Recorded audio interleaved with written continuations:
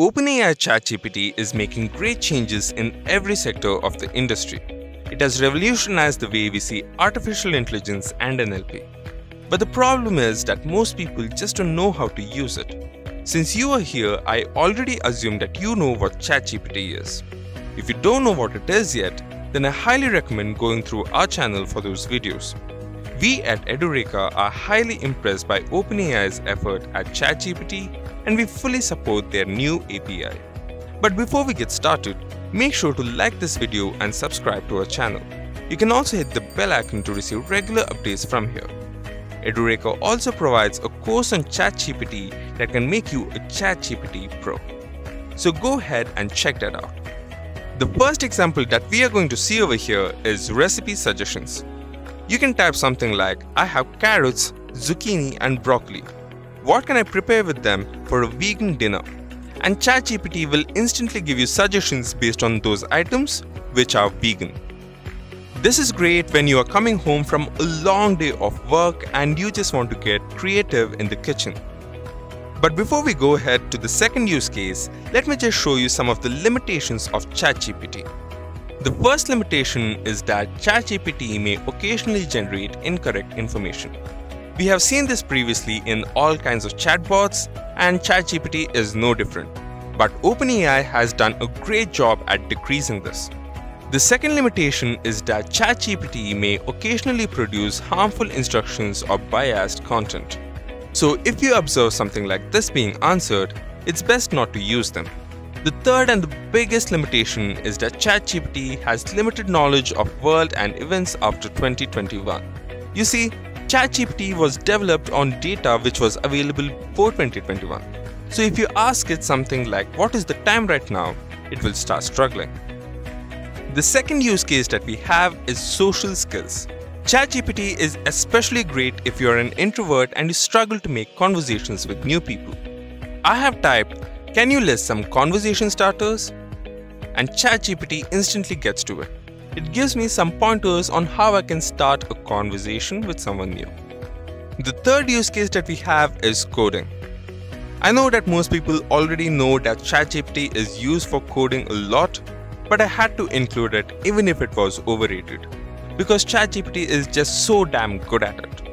Over here, I have mentioned a prompt saying write a Node.js backend code for a marketing company. And you can see that ChatGPT goes ahead and writes the entire backend code. Now this code might not be everything that you were looking for, but it at least provides you a template to begin with. The fourth use case is tutoring. ChatGPT makes an excellent tutor. And this is proven by the general public because they believe that ChatGPT is better than most university professors. To use ChatGPT like a tutor and get some really simple explanations, you can use the keyword explain like I'm 5.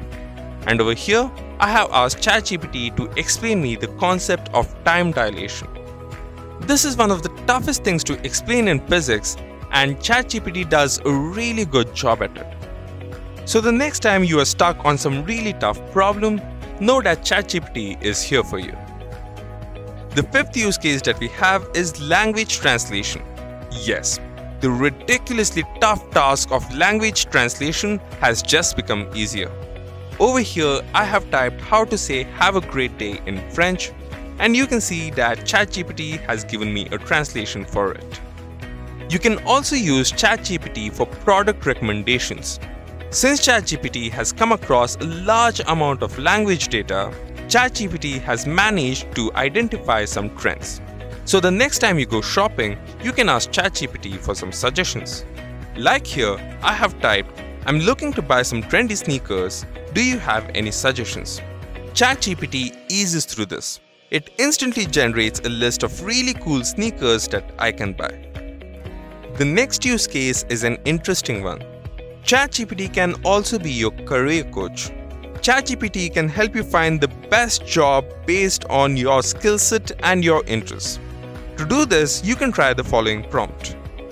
Could you help me find the right job? I'm good at creative and analytical tasks. Now ChatGPT takes this data and then suggests you some jobs that are really good for your skill set. You can see that it has suggested data analyst, marketing specialist, UX designer, etc. which heavily deals with analytics and creativity. Conversations with ChatGPT can also be extremely casual. You can get ChatGPT to tell you some jokes. For that, you can type tell me a joke and then you can see ChatGPT's reply over here. Sure, here's one for you. Why did the tomato turn red? Because it saw the salad dressing. I know this isn't one of the best jokes you might have heard, but it's enough to give you a chuckle. A lot of people have also used ChatGPT for mental health support. ChatGPT is extremely helpful when you are feeling sad and depressed and you want some pointers on how you can change your mood. To do this, you can just type out your feelings. For example, I'll type, I'm feeling sad and stressed. ChatGPT immediately recognizes what kind of query this is and it will give you some suggestions on how you can improve your mood. It tells you to exercise, connect with others, practice mindfulness among many other things.